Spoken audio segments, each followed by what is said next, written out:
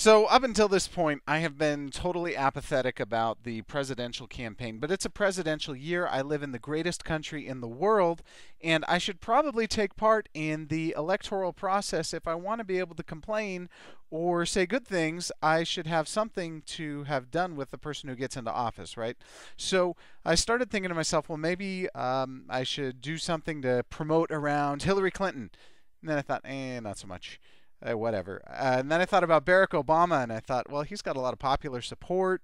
Maybe he doesn't need that much help. So then I started thinking Rudy Giuliani did a great job during 9 11, but I just wasn't feeling it.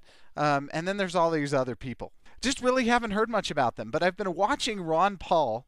Uh, and I really I haven't decided who I'm going to vote for yet, but I've been watching Ron Paul for uh, I don't know, like three years on YouTube, and so I decided to do something so here's what I did. I went ahead and created Ron Paul's Liberty Balls because I think Ron Paul is doing a good job of taking on the big guys, really showing that he's got the huevos to, you know, show us the way, folks. So there you go.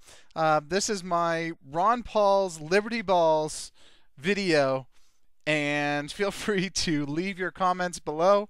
And uh, that's it. No even no even message to like vote for Ron Paul. I'm just telling you this is my contribution to the political campaign process and helping the underdog to take on the big guys. So, uh, hope you have a great day.